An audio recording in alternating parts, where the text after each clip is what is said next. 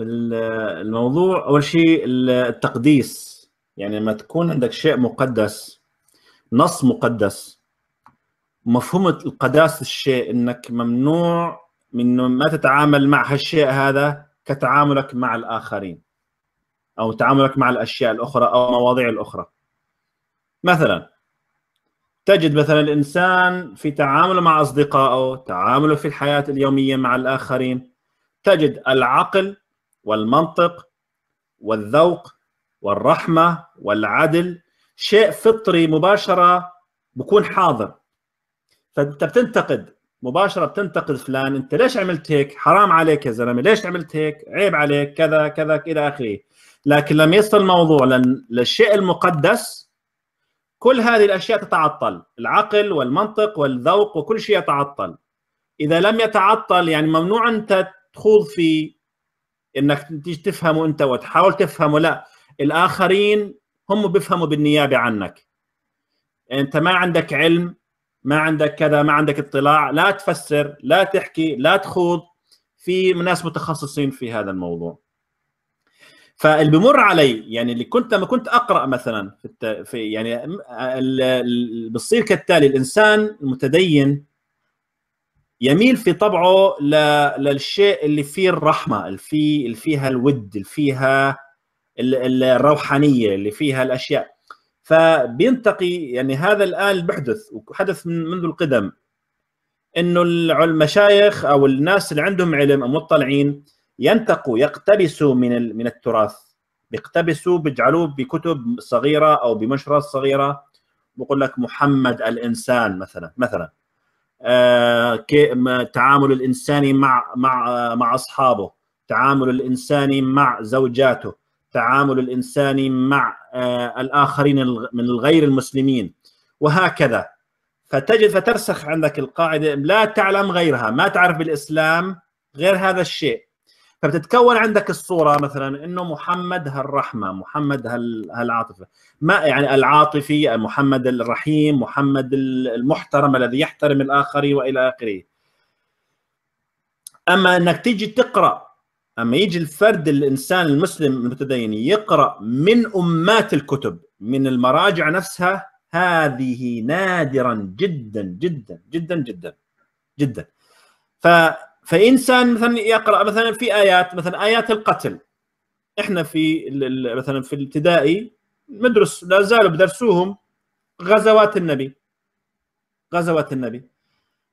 فسابقا بسبق بسبق لك بقول لك محمد رحيم محمد رحيم وكذا وإلى آخره ولكن شديد على المعتدي.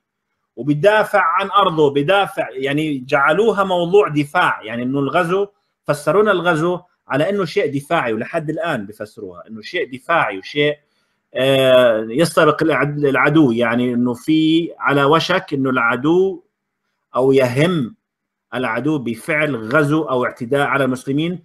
فالمسلمين بيستبقوهم وبيغزوهم ومن هذا الكلام.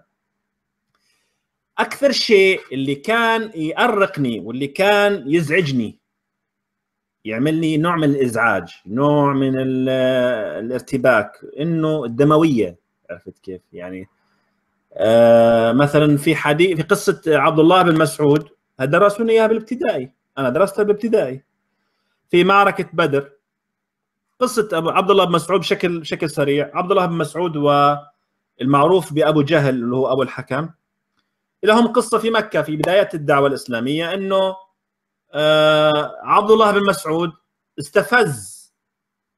الصحيح إنه استفز أبو أبو الحكم. فأبو الحكم لطمه. يعني آه، ابن مسعود راعي غنم.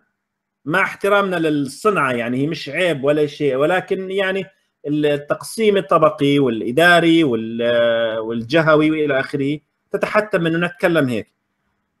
فعبد الله بن مسعود راعي وأبو جهل سيد بن سادات مكة معروف أبو الحكم. فعبد الله بن مسعود استفز.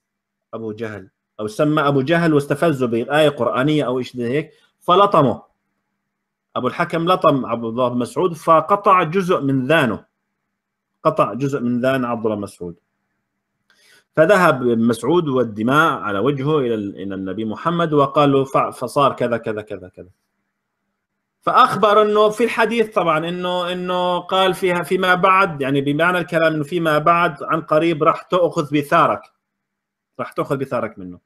فبعد الفترة بعد الهجرة وإلى آخره واستقرارهم في المدينة وبعض الغزوات حدثت بعض الغزوات آه، وحدثت غزوة بدر الكبرى. صارت المعركة جرح أبو أبو الحكم وسقط. فجاء ابن مسعود جاء ابن مسعود إلى أبو الحكم ووطأ على صدر أبو الحكم. قال أبو الحكم لقد اعتليت مكانا بما معنى كلامه اعتليت مكانا لم يعتليه أحد. يا رويعي الغنم. يعني بالتصغير يا ما قال راعي الغنم يا رويعي الغنم. ف بيحكوا لنا إنه احتز احتز رأسه سحب سيفه واحتز رأسه حاول يحز عنق أبو جهل قال بقول لك السيف كان لم يكن حاد كافي. فتناول سيف آخر واحتز عنق أبو الحكم أبو الجهل وأخذ رأس أبو جهل وجره إلى محمد. يريد أن يعني يريد يريه لمحمد انه هينا أنا انتصرت وأخذت بثأري. شوفوا ينظر أبو محمد إلى إلى أبو مسعود إلى ابن مسعود ومعه الرأس ويقول له ويضحك. طبعا الرسول يضحك يقول الرواية إنه يضحك حتى بدت نواجذه. حتى بدت نواجذه. قال يا ابن مسعود آه الأذن بالأذن والرأس زيادة. يعني أنت طبشت يعني هاي أنت اخذت اخذت ثارك بأذنك هاي الأذن بالأذن والرأس زيادة. يعني خلص زيادة يعني هذا. ضحوك القتال هذا حبيبنا. آه بالضبط. ضحوك القتال يعني جئتكم بالذبح إلى اخره ضرب الأعناق واضربوهم فوق كل بنان من هالقصص اللي بالقرآن وبالسنة. فالشيء اللي كان لما يحكوا هاي القصة أنا ما كنت أشعر بسعادة يعني. لكن بنفس الوقت شيء مقدس أنا ما عندي شيء بداخلي أنفر منه. ولكن بنفس الوقت كنت أبحث عنه يعني تفسير أبحث تبرير أبحث شيء إني أطمئن له إنه أنا أتقبل هذا أتقبل هذا المنطق وهذا الواقع بصدر رحب على الأقل بتسليم على الأقل بالتسليم فاكثر شيء كان كان يأرقني الدموية في في التراث الإسلامي الدموية والهمجية في التراث الإسلامي. أي نعم.